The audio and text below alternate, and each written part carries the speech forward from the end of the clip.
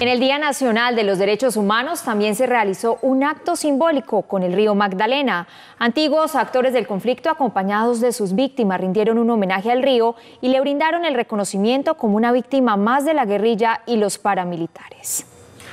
Son incontables las víctimas silenciosas que el río Magdalena alberga en sus aguas en más de tres décadas del conflicto en la región del Magdalena Medio. Una de ellas es la hija de Nuri Bustamante, quien desapareció cuando solo tenía nueve años. Hoy ella sigue esperando su regreso. Ellos se pierden, pero ellos siguen aquí vivos, aquí. Nosotros sabemos y pensamos, no sabemos si están vivos en verdad, porque siempre tenemos en nuestro corazón la esperanza de que los encontremos.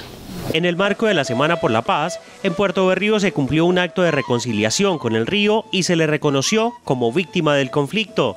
Quienes en algún momento se disputaron su cauce, ahora piden perdón.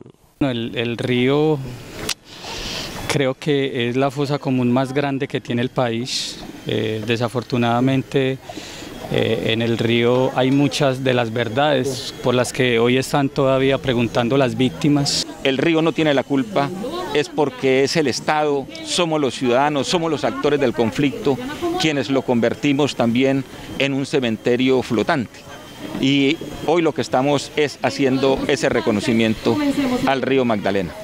Mientras el río inocente y silencioso sigue su curso, Blancanuri lo seguirá contemplando, con la esperanza de que algún día su dolor desemboque en la verdad sobre la desaparición de sus seres queridos.